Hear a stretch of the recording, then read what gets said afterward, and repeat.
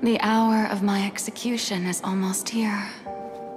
For the sinner, the curtain call has come. I know I may not sound it, but faced with death, I find myself a little afraid. Perhaps this is one thing both gods and humans have in common.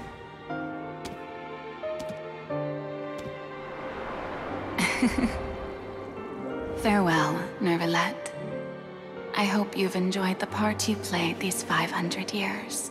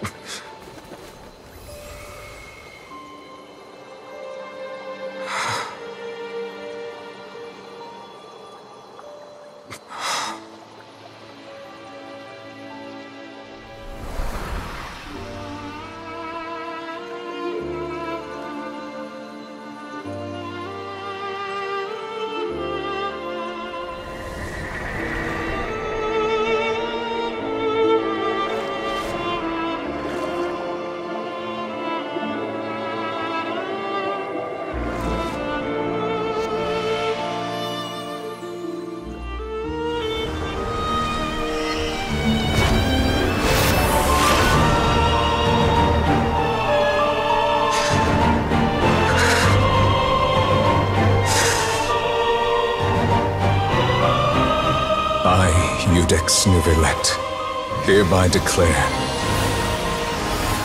People of Fontaine, your sins are forgiven.